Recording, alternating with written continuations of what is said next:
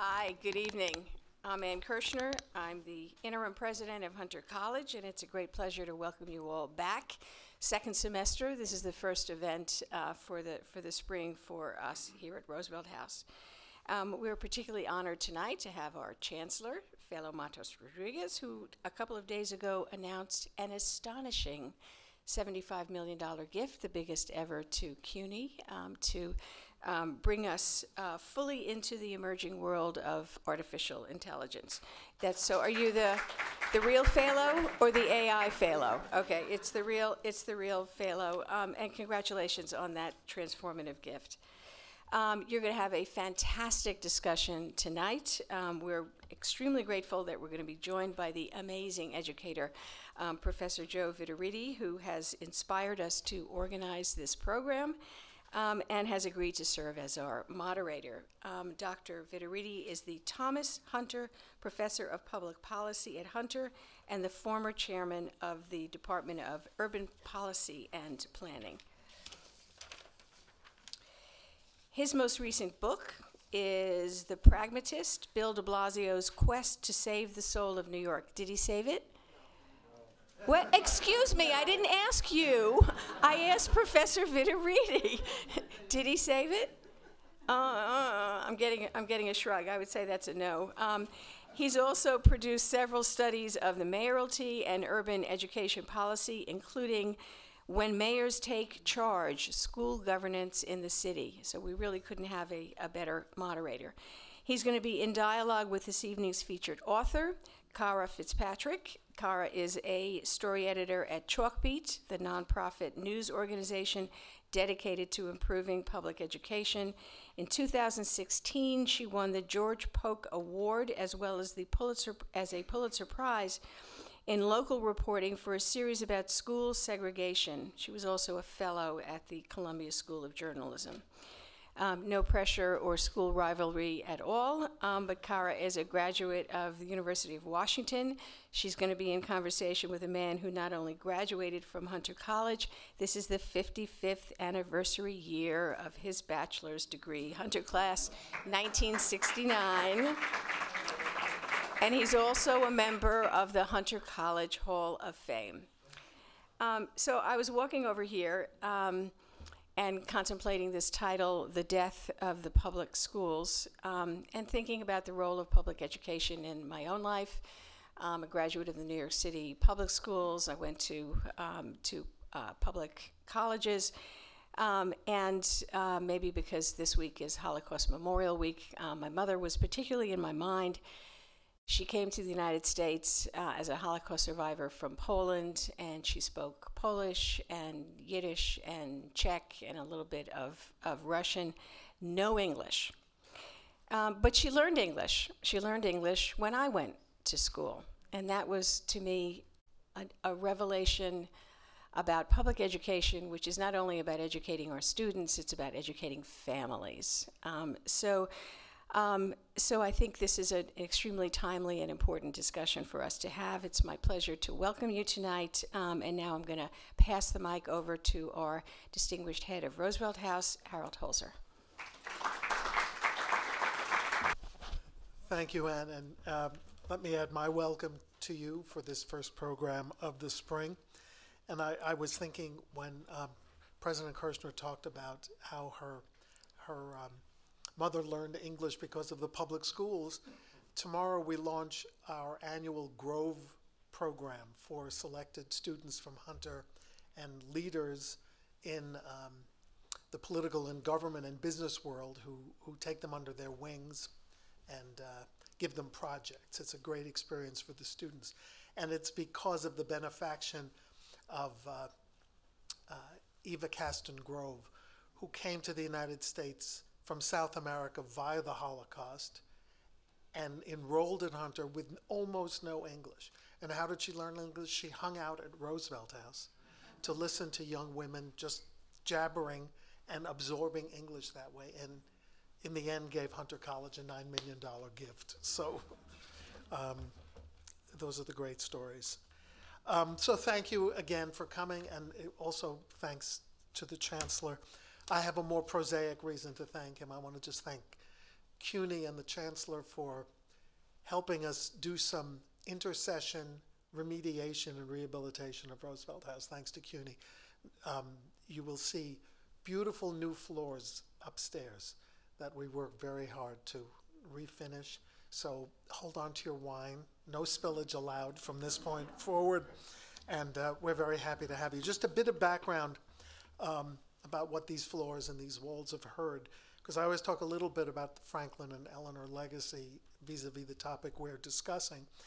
And here we know the, the Brain Trust met during the presidential transition upstairs in FDR's library and conceived the idea of the most massive public works projects in American history, including the construction of 38 new schools just in the five boroughs of New York City during the New Deal.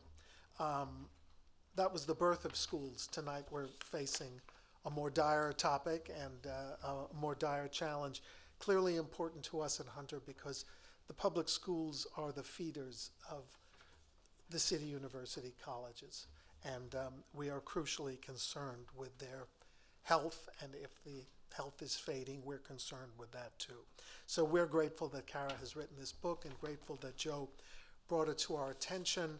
Remember, we will have a conversation and then uh, a question and answer period where you'll be invited to participate. Wait for the microphones because we, we are recording our program, broadcasting it on Zoom and recording it. And um, after that, please join us upstairs in the Four Freedoms Room for a reception and a book signing. And with that, Cara Fitzgerald and Joe Viteritti. Good evening. Um, my voice has decided it's going to try to fail me tonight, so I'm, I hope it won't. but I'm, I think we'll get through it. Um, let me also join uh, Harold and uh, President Kirschner in welcoming you to Roosevelt House uh, and congratulating you on, on the new book. This is the book. It will be available upstairs, and so um, you'll have an opportunity to read it yourself if you haven't already. Um, we have about 40 minutes for our conversation, and then we'll have about 10 minutes for Q&As from the audience. And if people keep their questions short, we'll get to hear a lot of questions. So um, uh, My answers may not be, however. yours don't have to be. um, okay, you know, I always like to start with a book. I always like to, uh, when I'm speaking to someone who has written a new book, my first question is why? Uh, what motivated you to write this particular book at this time? I didn't know better. I mean, it's uh, it was a really really difficult process. Um, no, I'd I'd been a reporter in Florida, um, which has had school choice for a long time, so charter schools and school vouchers, tax credit scholarships. Um, I had written about segregation for about five years, and it was not related to school choice, but it came up in the sense that we were writing about, um, in particular, these schools that had been resegregated um, and had somewhat devastating conditions, extremely huge teacher turnover, um, violence in some cases, extremely low performing, and also under resourced. And um, as part of that process, we, and I say with myself and a couple other reporters, um, we interviewed a lot of families about the conditions in the schools, and it kept coming up that families were trying to leave these schools. And because it was Florida, they had more options than you might in other places. So some of them would move to a different traditional public school or a magnet school or a charter school, um, and some of them went to private schools with uh, essentially a voucher. And it was just in the back of my mind as sort of an interesting thing that didn't factor into the series at all. Um, but I wondered a little bit about where school choice came from, if it was a, a you know a systemic reform, if it was just something that might help individual children, um, and and so I ended up kind of taking those questions and uh, as part of a fellowship, developing it into a book.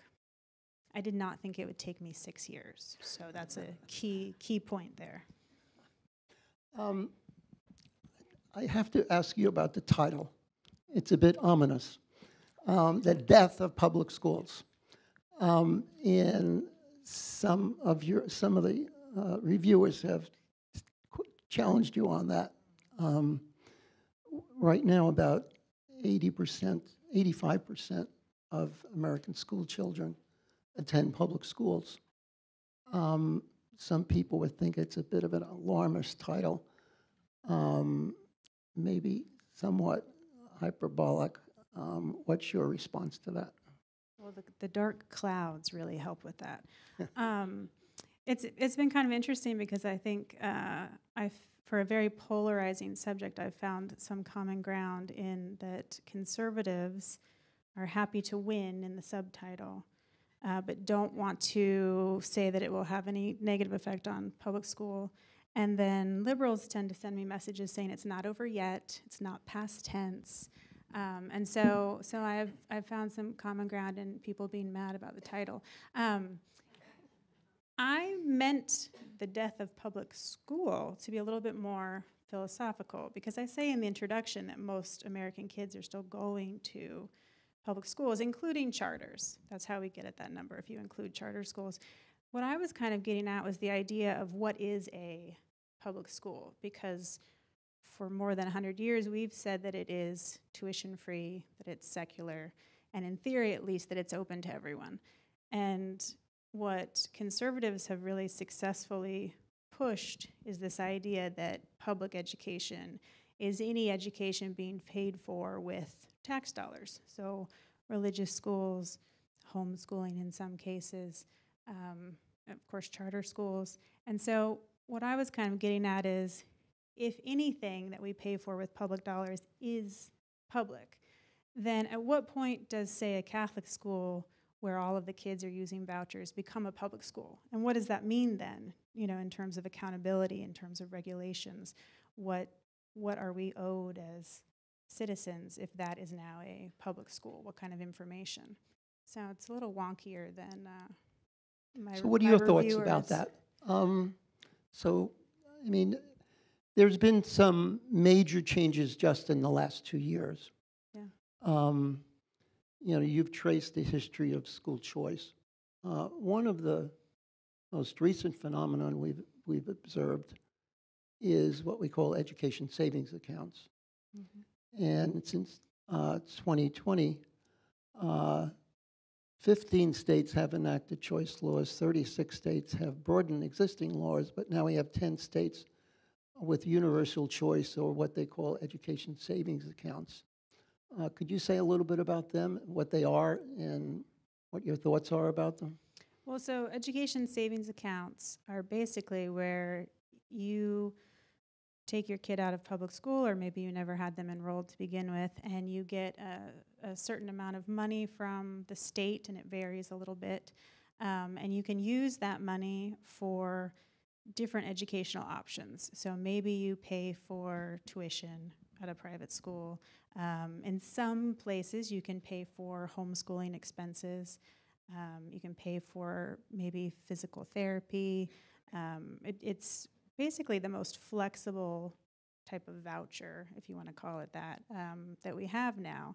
And I, I went to Florida on a um, for a book event a couple months ago, and I toured what's called a micro school. And the definition of that varies a little bit, but the idea is sort of like a homeschooling co-op, or in this case, it was um, 80% of the families were homeschool families, and they would go to this micro school and basically buy classes a couple of times a week for their kids. So if I don't want to teach geometry to my homeschooled child, maybe I pay for it at this micro school twice a week or, or whatever it is. And, and in Florida, if you, um, not to get super into the weeds here, but if you get what's called a PEP plan, you can use public dollars to pay for that. And, and so that's, you know, the most flexible option is that education savings account. And it's kind of where the school choice movement has been pushing and also for universal, that every child qualifies regardless of need. Is that a problem? So I don't take a position on whether or not school choice is good or bad because I am a journalist. The thing that I sort of take a position on is, you know, that the the current rhetoric, the, the there's been a shift in how people are arguing for school choice, and it used to be kind of this conversation about um, choice for maybe the most vulnerable children, or for low income children, for students with disabilities, and it was referred to often as a civil rights issue. In the last couple of years, the, the rhetoric has really shifted to, you know, we need to attack public education in order to win on choice. And that is what I think is, is concerning. I mean, you can set up school choice programs in a variety of ways to try to decide how you want to have them be accountable or be less accountable, and they vary quite a bit. Um, but the thing that I find concerning more than the existence of the programs is this idea that in order to win on them, to have more of them, to have this expansion, that we need to rip apart the public schools. Um, Why would that, why would that necessarily be the case? What do you mean? Ripping apart the public schools to have choice? Well, I mean in terms of public perception. Okay, And that's been sort of a stated um, strategy by some school choice supporters in the last couple years. well, um, some people look at education savings accounts and are concerned that um, there's a wide range of things people can do with them.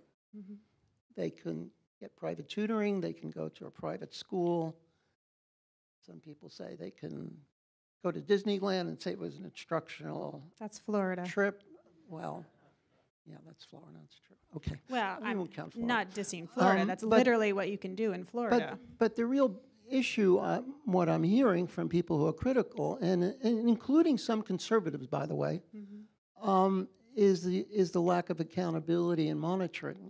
Is that a problem? Don't, don't you think that might well, be a problem? as a journalist, I'm a big fan of accountability and data and public information. You know, if I can look at the test scores for a traditional public school or a charter school and get a sense of how, I mean, test scores are imperfect, but get a sense of how a school is doing, if I can go to a board meeting and if I can get information about who works at a school, as a journalist, I think that's all useful and I think it's useful to the public. Um, it's a lot harder to discern whether or not someone is doing well being homeschooled by their parents with the aid of some public money. Um, in some of those places where we've had these a little longer, there has been some fraud where people are spending it not on, say, curriculum for their kids, but on other things that are not educational. Um, in Florida, there is actually a debate right now where some some Republicans are saying, you know, we need to to maybe re-examine some of the things that we've said it's okay to use this money for because the Disney tickets is not actually a joke. That's an allowable expense if you have money left over in your education savings account. You can buy paddle boards, you can get Disney tickets. I think TVs was another one. And and some Republicans are saying, you know, maybe we need to rethink that. Well, it's kind of ironic. Um, this is associated with conservatives, but there doesn't seem to be a real hold on how the money is spent. And so um, it's not conservative, certainly in the way money is money, money could be spent. Yeah, it's an interesting aspect of this because it's not small government. And it's, I mean, I think to some extent there's an argument that if the amount of a voucher or the amount of an ESA is less than the amount we might spend on that child in a public school, then maybe that could be a savings. But Arizona is having a debate right now because they opened this up to everyone in the state, their ESA program. And they have a lot of kids who are already in private school who are now getting it paid for. So they've absorbed a cost that before families were paying. And it's causing some budget problems there. Um, at least from the title of the book, um, the theme sort of suggests that what's happening is, is not a good thing, the death of public schools. And so there's a subtle message here, if not a direct message, about what might be happening and how, what's at risk. Um, let's take a closer look at this. Um, uh, in 2022, NAEP scores came out, National Assessment Edu- Ed- Educational Process um, Progress, which is considered the nation's report card. And it found that um, looking at students in the f- reading and math in the fourth and eighth grade, um, there were declines in reading and math for all, both grades. Uh, The dip in math was the largest ever. Uh, No state with a large urban system improved. Um, If we look at the results of recent uh, uh, testing that have come out, the Program for International Student Assessment, uh, the U.S. came out um, 26th out of 81 countries in math. Uh, That's not a very impressive performance for a country that one sees itself as an, a- as a, as a global leader. Um, Might we say that, uh, you know, some change might be in order? And um, what's the difference between meaningful change and what you call the death of public schools? Well, are these pandemic numbers? I didn't catch the year that you said. They're pandemic test scores. Yeah, but the pandemic wasn't, just didn't happen just in the US. The pandemic happened Well, globally. sure, We're but 26 out of 81, that's not too good. but our test scores vary a little bit based on how long you had schools closed. Mm-hmm. You know, if you closed schools. So, you know, I mean, I think it's a little bit hard to use pandemic scores with everything that kids and families went through to make much of an argument that we should eradicate the system. I mean, No, I'm not suggesting that.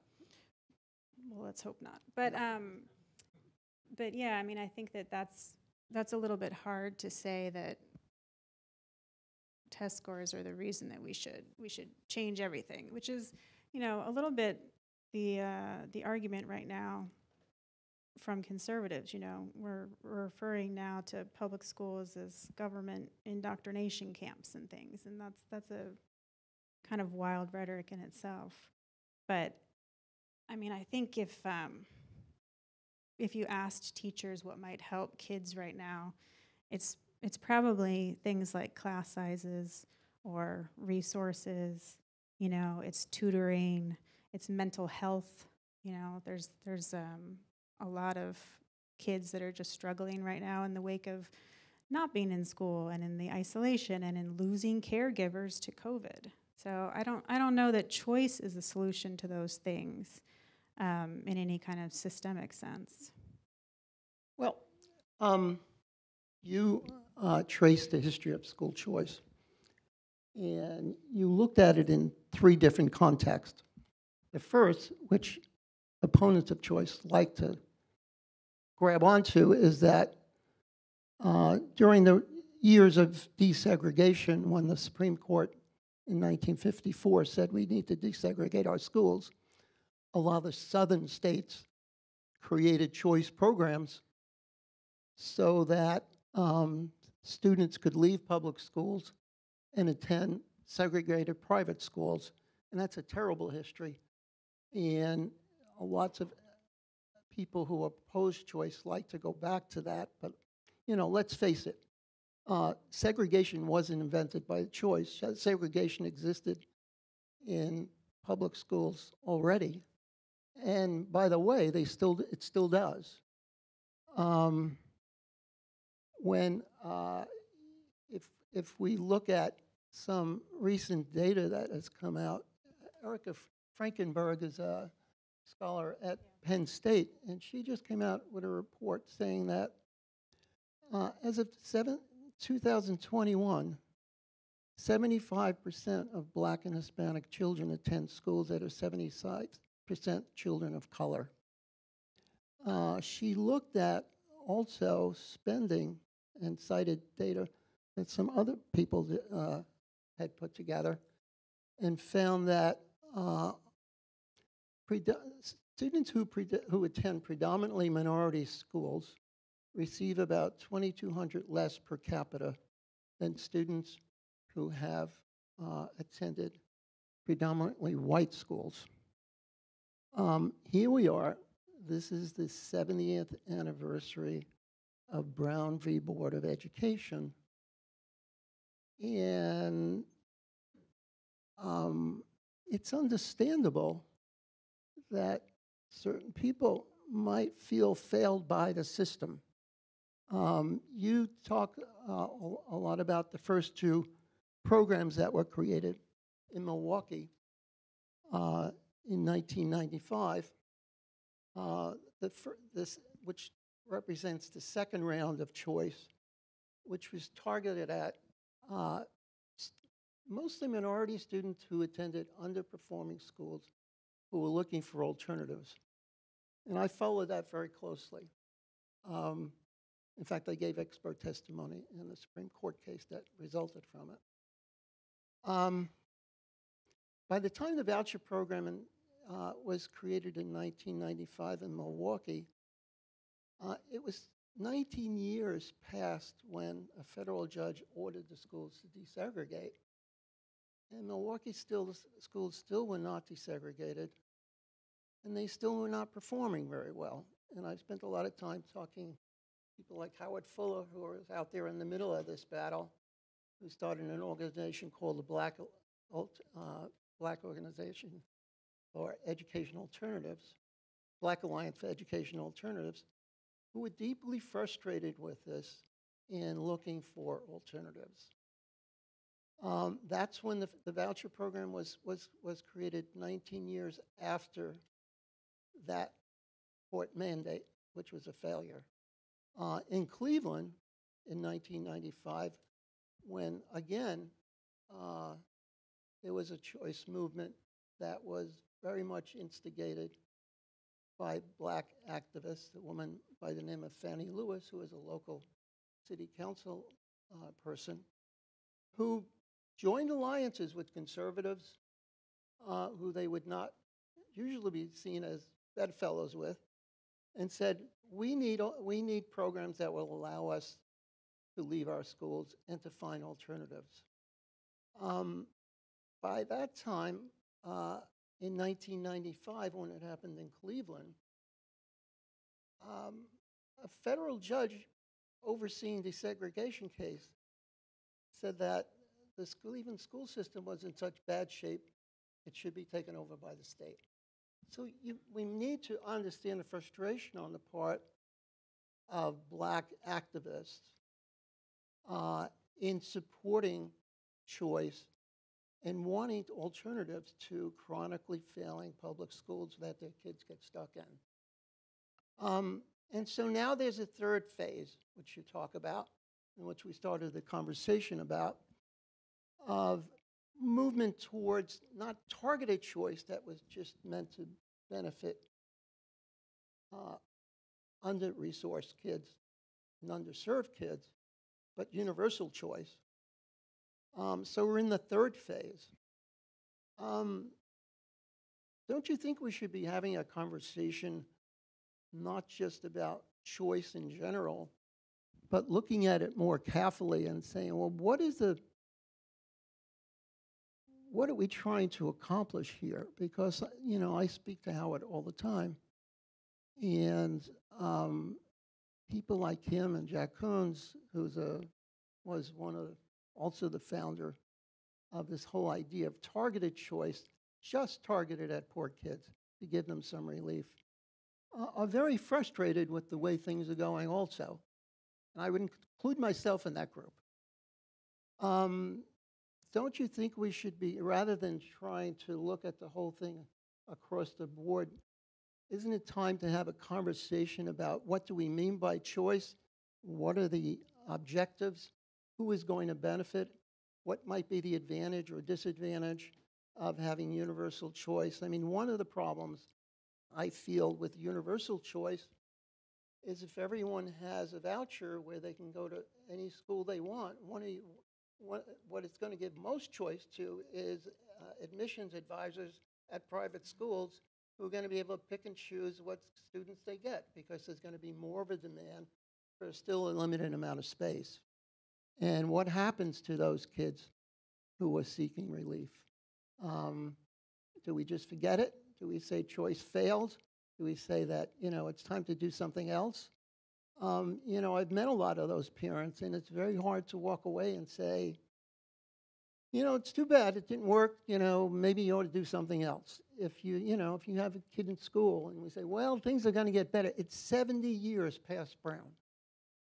Um, and when you tell a parent whose kid is in a school that is obviously not performing well, uh, things are going to get better, you know, they don't have four or five years, or certainly don't, you know, to wait. And so, where should we be taking this conversation? Well, I mean, I think people have been having that conversation for a long time. Um, Howard Fuller, that you mentioned, I saw him when I was in Milwaukee, and he's opposed to universal choice, has always been opposed to universal choice. He uh, was in it for low income children, um, you know, particularly children of color. And, and that's part of the reason that Milwaukee had their program. It's one of the things that I think is sort of interesting about this history is that you have this constant subtext of race and segregation, you know, because you do have um, sort of the origin story that it's uh, segregationists came up with some different uh, school voucher programs trying to get around Brown versus Board. Um, and that is sort of the origin story that you'll hear from progressives, but it's it's not the only one. You know, it's the same time period that segregationists were doing that. Um, you also had Milton Friedman, who was talking about school vouchers in an economic sense. He thought that public education uh, was a monopoly, and he thought that universal vouchers made more sense, and that you would see, you know, sort of uh, an increase in different types of schools and improvement of schools if you had it on a marketplace. Um, you know, and then at the same time that he was making that case, and that segregationists were talking about this for very different reasons you know, you had Virgil Blum, who was a priest in Milwaukee, who was talking about it in the sense of religious liberty. He thought that uh, it was discrimination to ask religious families to pay taxes, you know, to support a public system and then also pay tuition. And that conversation is happening right now. And, and I think the, our current Supreme Court is uh, very sympathetic to that idea.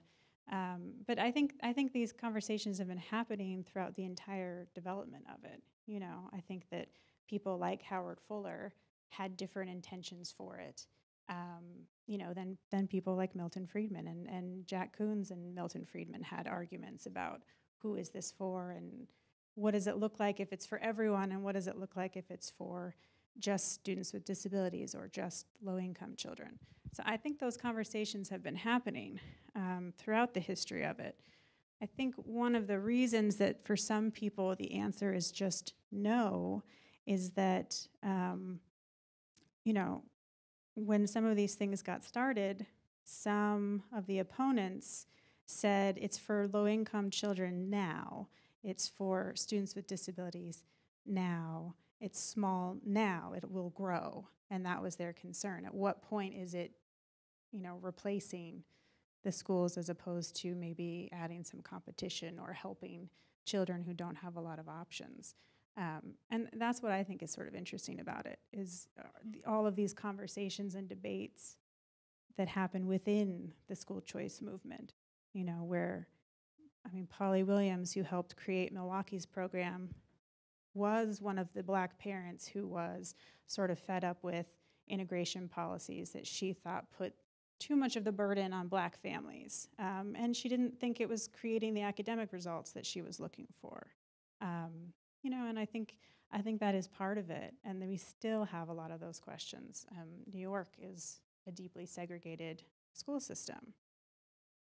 I don't know that choice is an answer to that, but um, but I think that that is part of the conversation when people are looking for other options. What about, um, you've studied this for six years.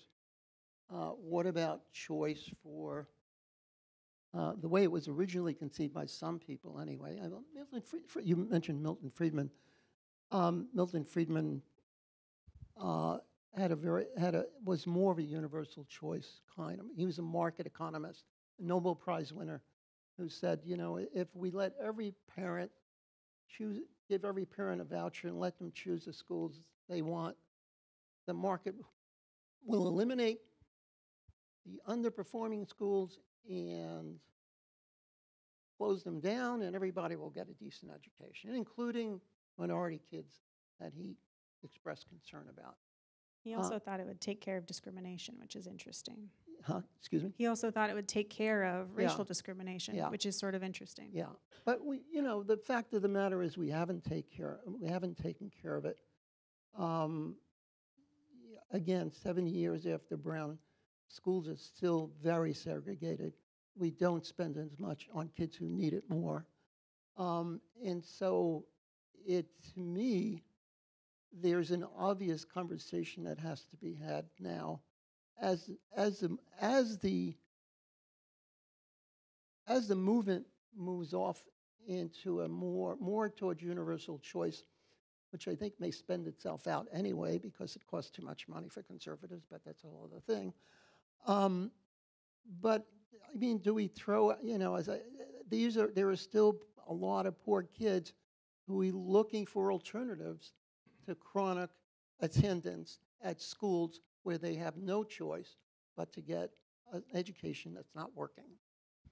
Um, and so, um, you, are you more receptive to that form of choice than you would be to uh, Milton Friedman Universal uh, choice? Well, I think that argument is more compelling, and it's part of the reason that those programs happened in the first place. Was that the idea was that we will give children who have the least ability to choose, you know, by moving or by paying tuition, um, greater choice. But what's interesting about it to me, from a public policy standpoint, is that now we're thirty some years into it, and the research is not sort of the the the results are not kind of I think what advocates were hoping for. Um, there is some research showing that competition improves public schools that they respond to it um, for charters and for school vouchers. That's interesting. Um, you know, one of those studies says that in a in a community where you have 10% or more of schools that are charters, that academic metrics improve for everyone, in part because the traditional schools, some of the real low performers close. Um, that's kind of interesting because you could also maybe improve those schools in a, in a different way. But we also now have several large studies that don't show that academic results improve a lot for the children who are using the vouchers. So if the test scores are about the same or worse, which has been the case in some of these programs, I don't know if that's a really good argument for the school voucher programs. And, and it's a, a bit of a wrinkle to me if competition improves the system, but the most vulnerable kids' test scores are not improving. And again, test scores are not the end all be all of education. There's also been some studies saying that some of their life outcomes for voucher students are a little better. Maybe you're more likely to graduate high school. So, but to me, I think that, you know, if you're talking about test scores for traditional public schools, and we're not seeing wonderful gains in test scores for the students using the vouchers, I don't know if that makes a good case that that's the best thing to do for vulnerable students. Um, when the, well, let's look at the, let's look back to Milwaukee, and I'd like to talk about charters too, but let's stick with Milwaukee and Cleveland. Um, when they finally enacted uh, those two programs, there was lots of opposition, lots of effective opposition. So while they weren't able to stop the programs, they were able to make sure they weren't funded very well. So um, the average uh, in uh, in Milwaukee, the the amount of money spent for each child in the so-called voucher program was 2,500 per capita, and the When it started, you mean? yeah, and the same that same year, the amount spent on kids in public schools was six thousand dollars. Uh, if you go to Cleveland, the per capita spending for the kids in the what they call scholarships um, was twenty two hundred bucks. Uh, Cleveland was spending sixty one ninety five on general, you know, in their public schools. They also offered suburban public schools an opportunity to accept some of the choice kids. And they offered them $6,000 as opposed to the 2,200 they offered for the uh, non-public schools. Um, None of the suburbs said we're interested. Um, Jack Coons loves to say that um, public schools are public uh, only if you can afford to live in the expensive district and if you can afford the house and afford the taxes, then it's a public school. And he wrote a story about a, a, a Latino child who got caught registering for a school in the suburbs uh, that she didn't belong in and she got thrown out. so his idea is, is that they're public only in a sense. But anyway, getting back to this, maybe uh, a good place to have the conversation is if we're going to try this, maybe we should really try it and invest the money. Um, it, it, it's almost incredible that you would you would create a program for kids that are having trouble academically, and you would spend less on them than you would for on the kids who are in the other programs. But we managed to do that, and so then when economists come by and say, well, we did the comparisons that, you know, they're not doing as well as the other kids. They don't look at the costs. I mean, it's, is it, might that be a factor? Well, private schools run a little differently than public schools. Their teachers sometimes are paid less. Yes, In they do. fact, are often paid less. Some of the, you know, Catholic schools have often had good results, um, but for a long time they had much cheaper labor because they had, you know, nuns teaching. Um, you know, so that's a factor. Private schools also are not obligated to take everyone. You know, um, the public school system, maybe the individual school does not have to take everyone because they have admissions criteria or whatever it is. But the district does have to find a place for you, and they cannot, if my child has a disability, say, I'm sorry, we don't have services for you. They have to provide those services, and they cost a lot more um, in some cases than educating a, a child that maybe doesn't have some of those needs for therapy and different things. Um, so that makes it a little bit hard to compare. When they do these studies, what they usually try to do, you know, is to to to say, if you can, let's compare this child to another child that's that's similar, and then say what happened to the child that stayed in public school and what happened to the child that took the voucher. And it's not a perfect way to to study these, but but that's what they try to do. Um, but yeah, I mean, I don't know that it even makes a ton of sense to talk about cost in that sense because when you're in a public school, again, maybe my child needs a reading specialist for six months, but so do 30 other kids, you know, and so sometimes the cost is some of these things that are shared. And private schools don't always have those kinds of resources. So sometimes the private schools are working out very well for children that don't need all of these things. And and they're not required to provide them. So, I mean, and also I've heard conservatives make the argument that vouchers are saving us money because it's less. So, I don't, you know, I don't know if it makes sense to pour more money into it and think the outcomes might be better or not.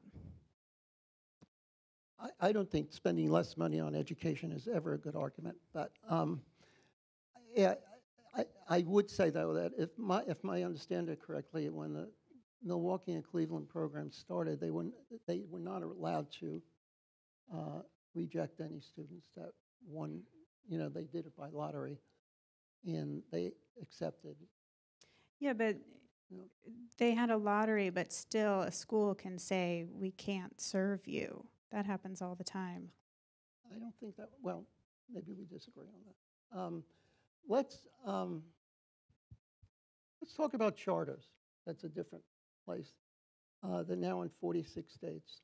Um, what are your thoughts on that? Are they a good thing or are they a bad thing? What, I mean, uh, have they shown some positive results? Is it good to have them around, or are they are they endangering public schools, or are they? Do you, would you consider them public schools? Well, by law, they're considered public schools. Um, but we're seeing that question being, you know, asked in the courts right now because Oklahoma has approved um, potentially the first, the country's first religious charter school. Um, and, you know, there's legal action over this. And part of the argument there is, is it really a public school or is it a, a private actor? And so legally, that question is still sort of being hammered out. Um, but in every state where they exist, they are considered a form of public school. Um, I mean, they have kind of an interesting history because they arose around the same time that Milwaukee's program did uh, for school vouchers. And it was, for a while, sort of the Democratic answer to Republican support of school vouchers. And it was, we support choice too, but we support public choice with accountability. And the idea was that this is a different type of public school uh, that is sort of free from the bureaucracy of the school district, but then can innovate and can try different things. It can have a longer day or a longer school year. Um, and, and the idea was that maybe there would be things that a charter school might try that would be um, replicable for the traditional public schools, that maybe we might learn something that way. Um, and so it's an interesting concept, and it had bipartisan support for a long time. Um, just in the last few years, you know, there's been a backlash uh, where a lot of Democrats have soured on charters. I think in part because during the Trump administration, they didn't want to support anything that Trump or um, Education Secretary Betsy DeVos supported. So there's been kind of a souring there on the, the Democratic side. But um, charters are kind of interesting because they've had pretty good results in urban areas, um, you know, and, and often have been attended by low income children of color. And so they've had pretty good results in urban areas, not so much in suburban. I think maybe less of a need in some cases. Um, but because the idea there was that they should be different, I think it's sort of hard to talk about them as a sector. Um, but people have tried to answer the question just are charter schools on average across the country better than traditional public schools? And there was a study that came out over the summer that said that on average, charter schools had a little bit of a test score advantage over traditional public schools, uh, but it was very, very small. Um, that particular researcher uses days of learning. Um, so you, you might be talking about the difference of six days. Talking about Macke Raymond.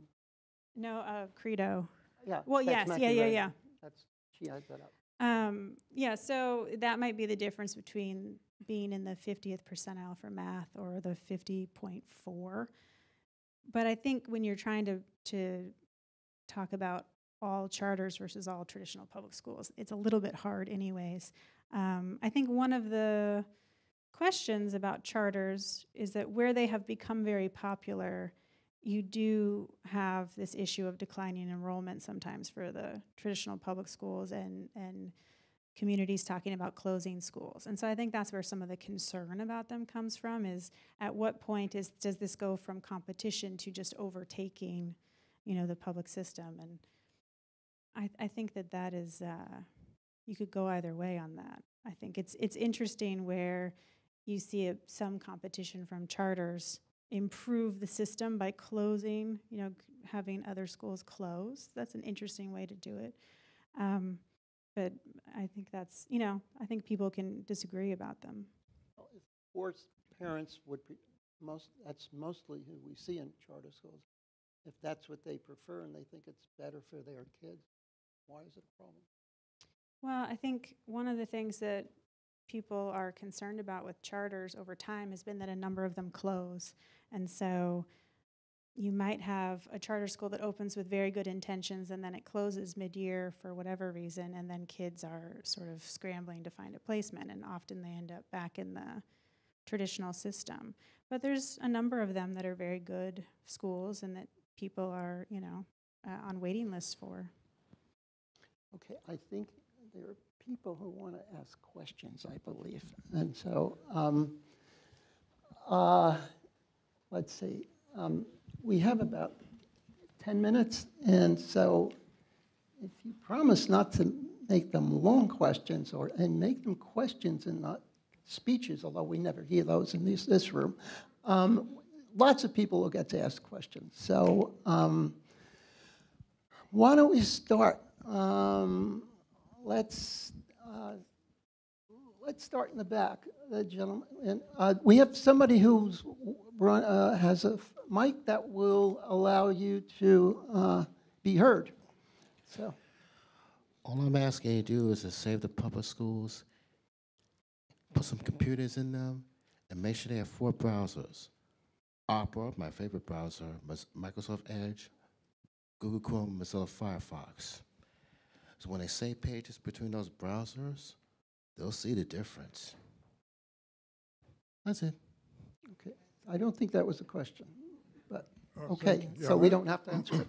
I'd like Um, to, I'd like to ask a question about uh, school boards and the, the campaign on the right to take over school boards. Not, they're not trying to kill, necessarily kill public schools. What's your take on Moms for Liberty? I mean, how serious a threat are these right-wing campaigns to elect school board members?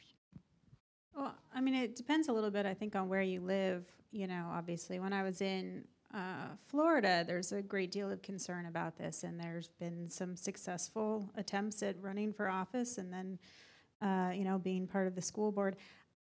I don't necessarily think it's a problem for people to run for school board. I mean, I understand this idea of of this is where some of the decisions are made, and so Republicans are pressing people to to run for those seats. But when I was a education reporter, it would be like me at a school board meeting and three other people. So in a sense, I think it's good that people are interested in what school boards do and that some of the result of that campaign has been people realizing that actually you know that that these bodies make important decisions and maybe we should pay attention to that um, I do think there's we're already seeing a bit of a backlash on some of this. Um, you know, some of the the school board campaigns in the last election where uh, Moms for Liberty and various groups endorsed people.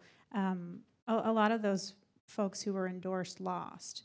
So I do think there's been a bit of a backlash, and also in part because parents generally are aware of what's going on in their schools and so when you're when you're campaigning on the idea that that there's indoctrination and there's you know activities happening uh, that social emotional learning is somehow a, a liberal plot if you're a parent i feel like a lot of people are aware of what's going on. And so they can say actually i don't see that happening in my school. I don't think this is the big issue you're saying it is.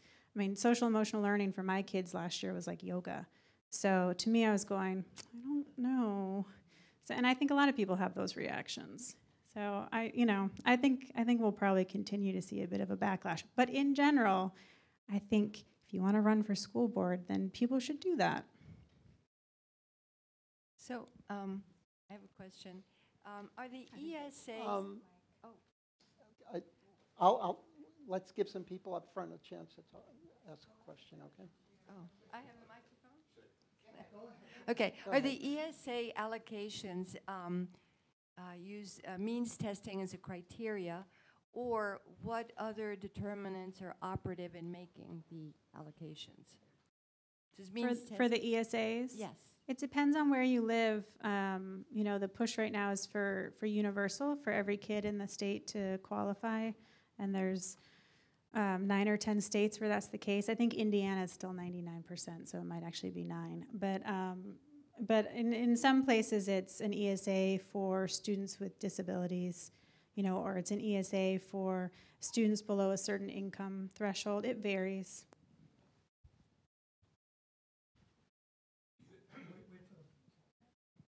Thank you.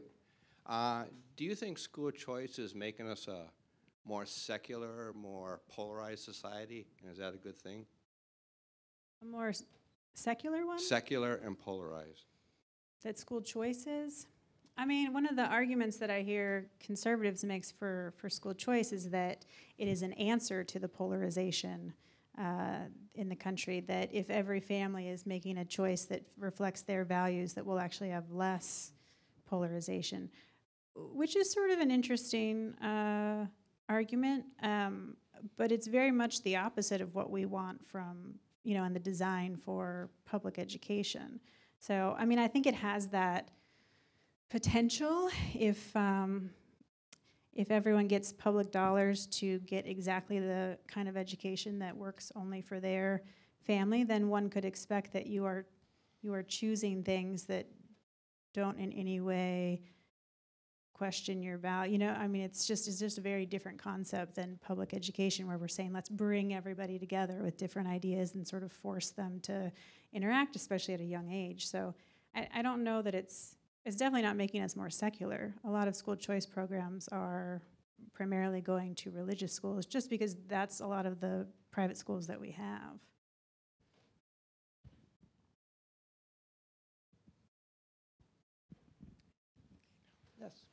Um, I used to live in Atlanta, and in Georgia there was a program with a there was a like a voucher program, and it really became sort of a de facto um, free tuition boost um, for some people. But if you're given if there's a, a, a voucher of twenty five hundred dollars or something that can follow a student, that's not going to cover the full private school tuition. And so what happened is that a lot of the kids who didn't need extra money or, or um, scholarship to go to these private schools were getting essentially a scholarship to go to some of these private schools. Can you speak to, is that common in other states or is, did you find much about that research in your research? Well, there's there has been a bit of an issue of um, private schools reacting to the voucher in some cases by raising their own tuition because in a way if you were if you were charging people you know $8000 and now the voucher is $8000 i think the original idea was that then these kids can go to the school. But in some cases what we've seen are private schools then increasing the tuition above that. And so in a way it's like a, a fundraiser for them um, and ProPublica actually just had a story out about that in Ohio, that happening in Ohio. But um, that happened a little bit in Florida too. Um, but that is one thing where, if you were concerned about it as someone designing the program, you could, you know, on the front end say, we're not going to allow anyone to charge more than this amount. Um, the other concern has just been that a lot of these vouchers are not going to cover the cost of your sort of real high end elite private schools. And so, is the answer to increase the amount of the, the voucher? Is it to say that this really is covering sort of a, a less expensive school? Um, that issue is, has really come up throughout the entire history of it of, of what are we trying to pay for and how much is enough.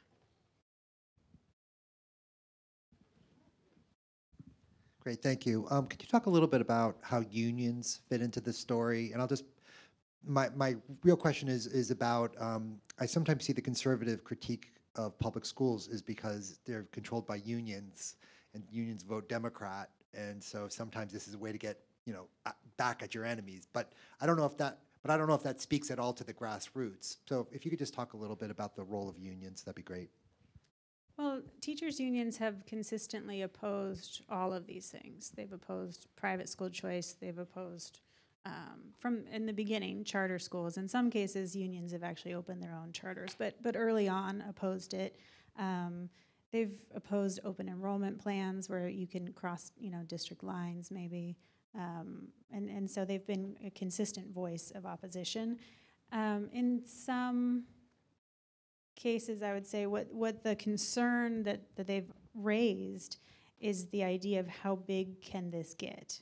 That, that thing that I mentioned earlier of it starts off small and it starts off targeted and then it gets larger. Um, but, and I would, I would say the only wrinkle to that opposition is that Albert Shanker, um, you know, who was, who was a national labor uh, president, for a very, very brief period of time, thought charter schools might be a good idea, and then, I mean, within a few years, changed his mind and sort of lumped them in with um, school vouchers as what he called gimmicks. But, but for the most part, that's always been, um, they've always been opposed. And I think there's some truth to the political aspect of it, you know, that teachers' unions tend to be democratic. Um, and, and certainly on the right, there's a real effort to demonize teachers' unions. Um, you know, I think Mike Pompeo was the one that called Randi Weingarten the most dangerous person in America or something. Some of the rhetoric is a little over the top. I think we have one more, we have time for one more question.